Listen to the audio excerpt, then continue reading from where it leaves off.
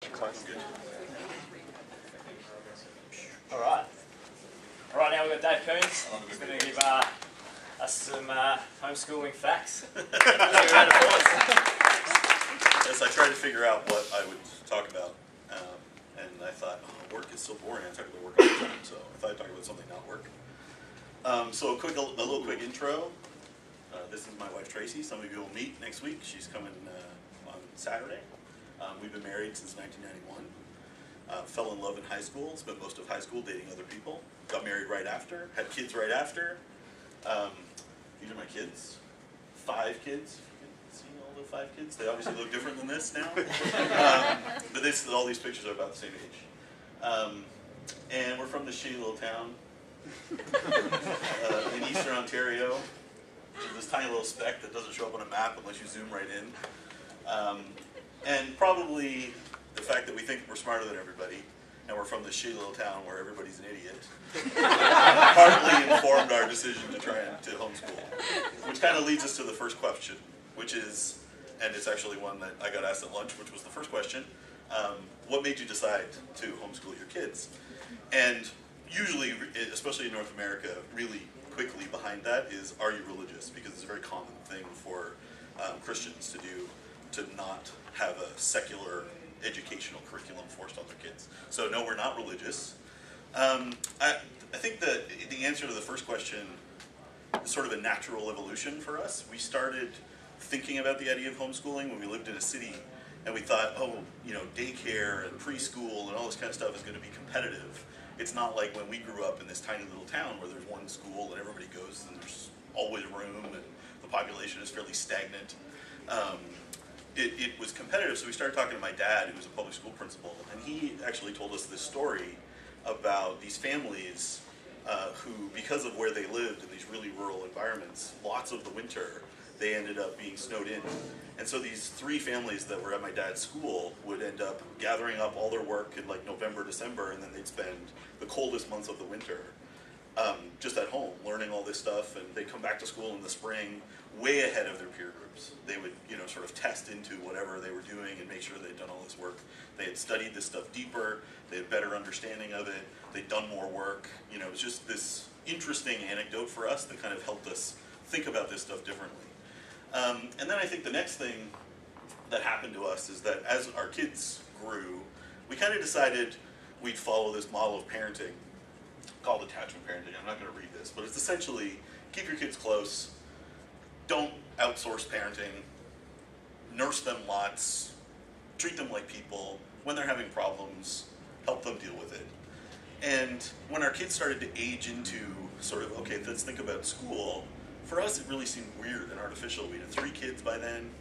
Um, sending half of our kids away or one of our kids away or any number of them just really kind of felt weird to break up the family and the way that stuff worked. So we decided we'd just keep them home as long as possible and we'd figure out if this was something that we could do.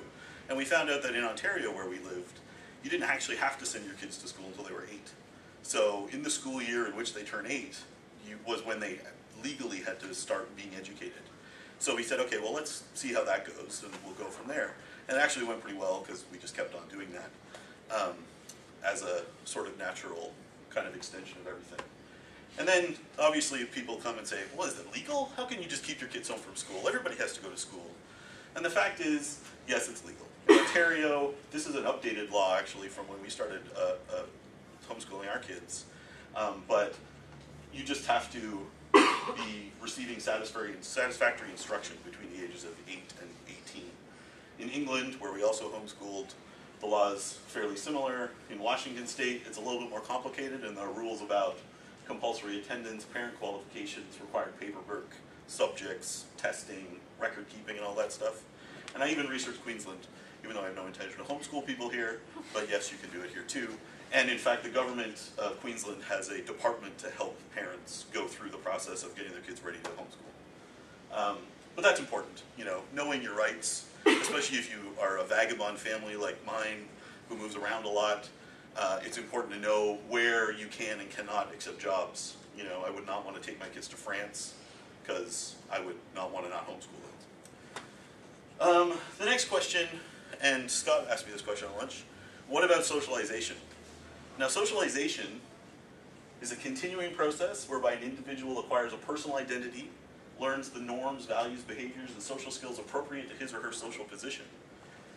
So, obviously, the best place to learn that is not here. These group of cartoon eight year olds who don't know how to get along in the world are not probably the best peer group to learn how to get along in the world with and from. You know, so one of the beliefs that we really have is that mixed age groups, spending lots of time with us in our lives, with other groups of families who are doing the same kind of thing, other kids of different ages, other parents with different cultural backgrounds, all this is the kind of social norms we want our kids to be able to fit into. And being herded into a tightly packed classroom full of other kids with one person saying this is the way you have to behave, and there's a whole bunch of rules around it didn't really feel right to us. Now, usually, what people mean by socialization is not this, although it's very important. It's actually social. What do you do? All my kids have school friends, all their friends. They go to school, and that's, they actually mean like how do they actually get along with people and have friends and find things to do. And we actually spend a lot of energy um, as homeschooling parents making sure that our kids do make, oh, I'm out of the camera, sorry. Um, making sure that our kids do uh, have friends and social groups, all of the places that we've lived have really active homeschool communities where families get together, we do field trips together, uh, we do all kinds of events at all times of day, nighttime parties and Friday night drinks and, you know, play dates when they're young to really complicated solo adventured field trips um, when they get a little bit older and get a little bit more independent. Um, so that's the answer to sort of both of those flavors of that question. The next question people have, how do you know if your kids are keeping up? You know, this is important. We have a very goal-oriented society. Everything's measured, standards and all this stuff. Frankly, I don't really care. I think it's a horrible way to put people through an education system. I think the, you know, I used the phrase today at lunch, institutionalized education. You know, you have to remember our public education system is built from a time when the um, industrialists and the Enlightenment were all a big thing, right? These were sort of academics who said, how can we educate all of us to the same level of standard? And this whole industrialization wave where we realized there were academics and there were workers, and we needed a system to educate workers to a certain level and let academics keep thinking about stuff. You were either smart or you were not smart. You did school or you went and worked. And we've kind of built an education system around this sort of pipeline of put your kids in at one end and you get them out at the end, at the other end, and they're adults and they're productive members of society. And we didn't really believe that. So we actually don't keep up. We don't know if our kids keep up. We feel like as long as they're happy and they know how to learn stuff, um, that's really the most important thing. So we actually follow a model of homeschooling that in the U.S. is called unschooling. Uh, in England, they call it autonomous education.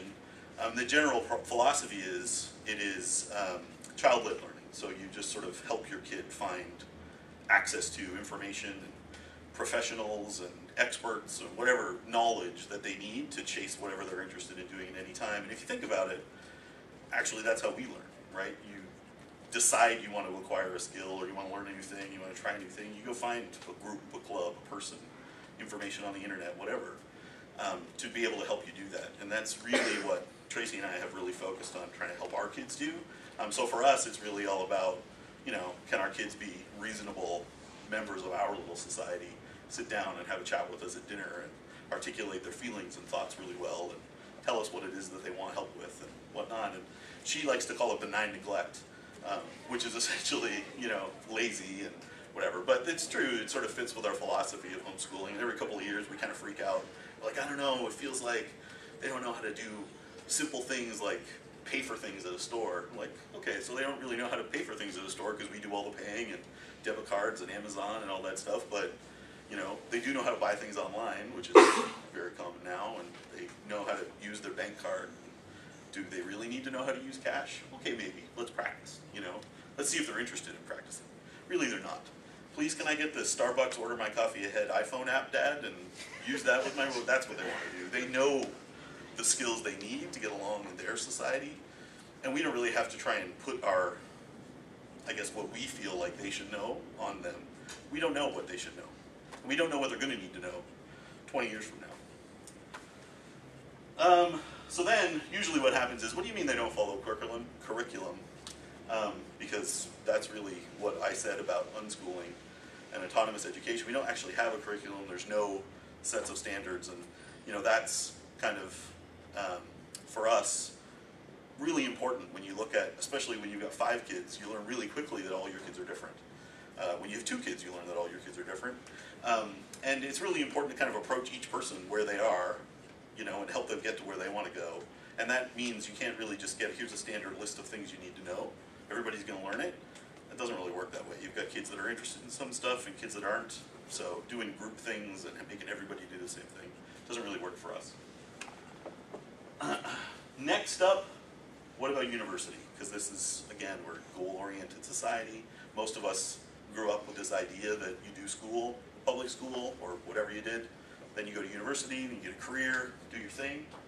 Um, there are lots of ways to do that. Uh, I'm a huge believer in not going to post-secondary education.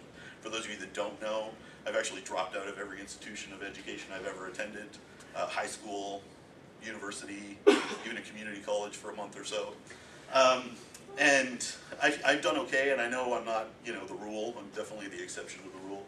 Uh, but I like what I like to tell my kids is that you know if you want to go to university, obviously you should go to university. But I want you to want to go. I don't want you to grow up with this expectation you should go. I don't want you to grow up with the expectation that if you go, everything like magic things are going to happen and you're going to end up happy in life and successful in life. That doesn't mean anything. You know, I want you to be happy. So if you ever want to go, you can always go. You don't. There's no decision you can make in your life that is going to make you not be able to go to university when you want to. It may put you behind. You know, you may be like me and say, "Oh, at 24, let's go to university." I know I've already got three kids, but that's okay. I'm sure I can make three kids a full-time job and university work. And that'll be okay. Doesn't work actually. Um, but you know, and so my kids have kind of taken that on, and I've got one child in uh, his third year or uh, third year of university, and he went a little bit late. Um, not for lack of trying, but mostly because we moved around and he got had to start all over again. And he found that the university he wanted to go to needed him to have some other school. So, you know, he just decided, okay, this is what I want to do.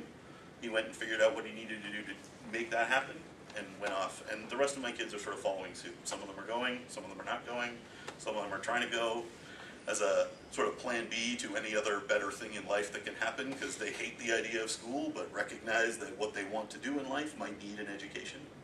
So, and that's kind of the attitude we wanted our kids to have.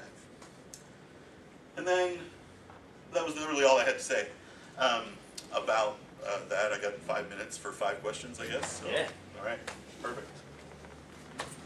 B. Hey, I said, you know, um, I know you said you didn't want to talk about work, but how does, how does the last point fit fit into like recruiting um, for Expedia? Because I just quickly checked Yeah. on LinkedIn and just double checked, and it says that it's essential to have a bachelor's degree. Well, so the way I explain this to people, and the way I explain it to recruiters that I work with when I hire people, uh, and so remember, don't have a degree. Uh, don't hire people who have way more many degrees than me all the time because they're just not qualified for the jobs I want them to do. Um, is that I write a job description and we come up with requirements for for roles based on you know what you would need if this person you know, like, I don't know anything about this person, I have no idea, you feel like there's this accumulation of knowledge that gets you to a certain point that all of those things that you list out as prereqs give. The reality is, that's not true, right? You know, as a hiring manager, you know, you talk to your recruiter and you say, oh, this role, I am actually looking for somebody who's got this kind of experience and this kind of experience, and I don't actually care what kind of degree they have. I don't actually care if they have a degree. You know, if they've got 10 years of experience doing exactly what I need them to do, then really what the hell is a four year university degree going to give them other than passing HR? And I think for us, I mean, hiring managers or recruiters and hiring managers tend to work together pretty well that way. Um, some companies are a little bit harder to get through the HR bar, but I think if you know exactly what you're looking for and can articulate it well to a recruiter, they can kind of help people get through that bar of recruitment. Because there is definitely, I mean, there are careers out there that require degrees and certification and stuff like that, and, you know, we're pretty honest with our kids about that kind of thing. Um, but, th- I mean, there are lots of us in technology and in software now, especially if we've been in it for ten or fifteen years, to know that that's not true. You know, if you've dropped out of everything and just happen to be in the right place at the right time and making up the right job at the right company, then you gain a wealth of experience that you can turn into actually acing an interview or a day-long interview process at Expedia. So, Um, now that your kids are going to university, yep. have they shown any resentment? Are they at the point where like, oh, dad, mum, like, if Fucked I up had my proper life." schooling, I would have to go through this struggle now to like do a bit of schooling to get in or Um, requirements. I don't. I mean, I mean, not that they've told me. I think uh, our middle child has a little bit less love for the freedom with which they were kind of brought up. But you know, I think if we picked a school, we probably would have picked some crazy hippie like Waldorf school or something like that anyway, and they'd probably be in the same boat, just not at home. Like you just you tend to. I feel like it's in her nature to complain about her childhood and her situation. Um, most of them sort of get to that place and they're like, okay, yeah, I, you know, I understand. You know, our eldest who's in university, you know, his, um, I think his biggest lament was just that, and it has nothing to do with homeschooling. It actually has to do with the fact that we moved from England to back to America uh, in 2011, and he had been accepted to an art school in the UK, and just because we weren't citizens and we were moving back to the U.S., he couldn't go and couldn't afford tuition because you need to get a student visa, all the money. And I'm like, unless you have 25,000 pounds, bud, sorry, we're you got to come back with us. So, you know, he found another path because that was what he really wanted to do. But I don't think they complained really about sort of lack of preparedness because kind of being prepared and flexible is kind of the core of our, you know, training program, if you'll call it that. So, sure. You hear from people that work at home that it's difficult to maintain a work-life balance. I guess homeschooling your kids, there's a lot of um, overlap between school and life. Like, Yeah. Can you speak to that a little bit in your experience? Yeah, I mean, I feel our one of our big sort of the tenets of our homeschooling philosophy is that sort of you know education is what happens in life. So for us as parents, you know, more for my wife probably than me because I have worked full time out of the house. Um, her life when our kids were younger was all about their homeschooling. So as much as we don't sit down and it's school time and now it's time to do work and do this and do that, um, our focus as parents is on giving them experiences and exposing them to stuff and making sure that they're, you know, sort of happy and productive in whatever they want to do. Um, because there isn't, uh, you know, I want to say there because there's no like school time, is really just like their day just is. You know, it's kind of like when you're on holiday. Like you just wake up in the morning and decide what you want to do today, and you go do it today. And if you think about it today and you realize, oh shit, it needed some preparation, then you plan for it for its earliest time, and you start to learn then, you know, sort of how to get along in the world by just kind of living. I don't know. I don't really. I mean, I approach work that way too. So, you know, I kind of work to all hours, and I you know weave it with my my work life balance is like an hour on and an hour off, and whether I'm in the office or at home. So, I don't know. Maybe it's just our philosophy to the whole experience all being part. You know, I work from home, and my kids get to listen to my end of conference calls, and you know, because I do it wherever I have the best Wi-Fi, not where I have the quietest space. Um, so yeah, I don't know. I, we haven't really thought about it too much, but for them, it's like, oh, I get to sleep till eleven, awesome. Unless I have to get up at eight, you know. But there's just nothing to sort of break the cycle of this is my life. Was there, was there any difficulties with motivation? Like, did you wake up some days and you're like, uh, you know, your wife would wake up and, because I, I guess with teaching, like, teachers can, they get paid, but you also, like, look at exam results, you know you're, Yep. you're having a difference. Like, was there any difficulties there? I mean, I think there's. I would say that the biggest difficulties of motivation are them. You know, like, and it's mostly like you. You it's one of the differences, right? You realize some of your kids like wake up every day, they get up super early, they start working. That my son, who's in university, he's an illustrator, and he has known he's been an illustrator since he was like five years old. And since he was about five years old, he'd wake up every day and he'd draw things. Every time he'd have a piece of paper and pencil, he'd draw things. We're at a restaurant, he'd flip over a menu and he'd scratch out some crazy illustration. I used to hang them on my office wall. Um, so for him, he was so motivated by, you know, getting the stories that were in his head out into pictures and on paper that as he grew, he really started setting himself his own schedule. You know, what are you up to today? Oh, I've got this to do and I've got this to do. And I'm like, you're like a homeschool kid who's like 11. How can you have things to do? you know, and that, you know, so for him, he's like super self-motivating. I've got some kids that are the exact opposite. Like they are Im- immovable force. Unless something comes and you know acts on them, they'll stay in bed or stay playing a video game. And it's kind of like you, as a you know a firm believer in this philosophy, you sort of sit there waiting. What's the thing that's going to get this kid motivated to do something? Um, and you know, it's kind of a general social experiment. For my wife, it's kind of a huge blessing, right? If she wakes up in the morning and goes, "Oh fuck, I feel like not doing that," then she doesn't have to. You know, she could say, "Hey guys, I'm taking a poll. Does anybody really want to go to this crappy thing?" That's kind of, you know, like you influence your kids by the awesomeness of the event they've signed up for. And if you can get a majority vote, then you're like, "Yeah, great, we're awesome. We're having a watch Jamie Oliver all day on the couch kind of day because we all feel like that." Um, so it's just it's pretty fluid. Okay. I guess do I have time for any more? One question more, I think. Carl, you've been trying to ask a question since the beginning. Um, yeah, I guess it's just follow, it's following on from that uh, with regards to like, um, I, I, I feel like the biggest thing that you could possibly give to your child is drive Yep. and motivation. That's the that's the only thing that you're going to need to have in the world. Yep. then that's exactly what you're, you're, you're trying to. Yeah. How yeah, with what you're saying with those kids that are big Not rocks, motivated? Yeah. Yeah. Is it? Uh, do you feel like it's just something? What are you feeling with that? Like, is it something they just haven't found something So, they're passionate about? Or? Yeah, I think. I mean, I feel like that. I'm a. I'm a. I'm kind of a rigid person. Like I, you know, when I set my sights on this is my philosophy and the way I think, then I like believe it Yeah. fervently.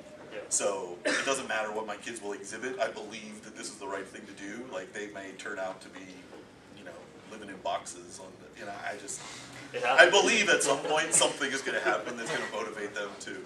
And I, I think for the most part, what happens is um, we convince ourselves that we, because we have experience with our older children, um, that well, the way we've homeschooled will result in this kind of kid. And you know, it's sort of every once in a while you have to be you have to remind yourself that oh yeah right everyone's different.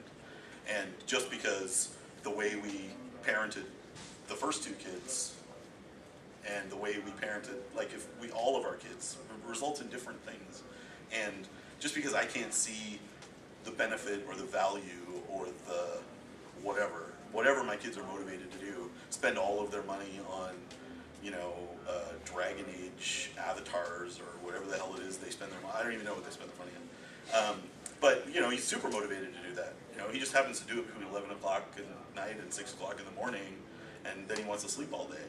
You know, I can't today see any real value in doing that. But you know, he's fourteen, so at some point something's going to come along and make him want to do something different. I hope, you know, but I have to believe that that's going to happen because nobody wants to not do that. You know, like at the end of the day, the reality of life hits you, and you go, "Yeah, right. I can't actually live with my parents forever because they're moving now and back to England, and I don't want to go. And I'm 23, so I'm pretty much going to have to get out because I don't want to move to England, you know, or whatever is going to happen. We've committed to them to get on with our lives when it's time for us to get on with our lives, and always be around to support them, but not to coddle them. So you know, there is these external forces of you're growing up and you have to learn how to find the thing that you like to do and figure out how to go and earn a living and do all that stuff from it. So kind there been is a an consistent expectation message. that they know that they do have to get. Oh yeah, and my wife is like, you know, we're like polar opposites, and our kids sort of land somewhere in the middle. I'm like, move out when you're 18. I don't want you anymore. As soon as you, age out, I'm going to start charging you rent, and rent is going to be market value for a two bedroom, two apartment. It's way better than what you're living in here. But um, you know, my wife is like, come home whenever you want. I love you so much. I want you to be hungry. I'll make you food. I'll bring you food. I'm like. So, you know, our kids end up somewhere in the middle. They want to move out, they want to try it on their own, they experiment, they go out for a year, they come back, they go out again. You know, my 14 year old is the one who wants to get out as quickly as possible. He's like, I hate America. I want to move, in, move to Canada. Like, well, move to Canada as soon as you turn 18. He's like, great, I can't wait. You know, and he has no plan. He just knows that that's what he wants to do. He doesn't want to live where I want to live, so he wants to go and be on his own. So uh, it's up to him. You know, I guess that's kind of our self motivation is kind of the whole point of the whole thing. So. Fantastic. Anyway, thanks guys.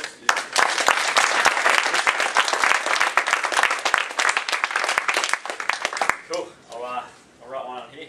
Dave Coons, so if anyone's got any feedback, chuck it up here. That, that's Dazza?